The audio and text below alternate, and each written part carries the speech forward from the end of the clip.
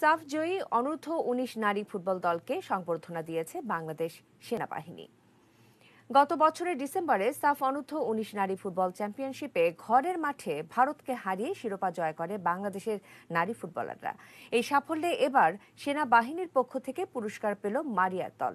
Dhaka সেনানিবাসের army multipurpose কমপ্লেক্সে তাদেরকে সংবর্ধনা দেয় বাংলাদেশ সেনাবাহিনী।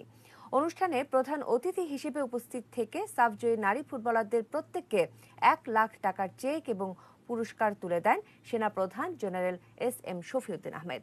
পুরস্কার দেওয়া হয় টিম অফিসিয়ালদেরও। সংবর্ধনা পেয়ে উচ্ছ্বসিত নারী ফুটবলাররা।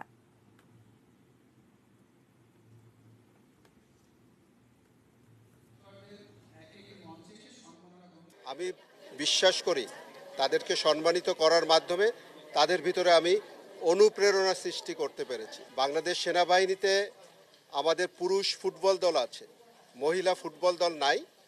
আমি তাদের আগ্রহ দেখে আমি আমাদের সংশ্লিষ্ট এসসিবির যিনি চেয়ারম্যান আছে, ওনাকে বলেছি যে ভালোভাবে আমাদের এইটা একটু স্টাডি করে দেখতে যে আমরা বাংলাদেশ সেনাবাহিনীতে মহিলা ফুটবল দলের প্রচলন করতে পারি কিনা।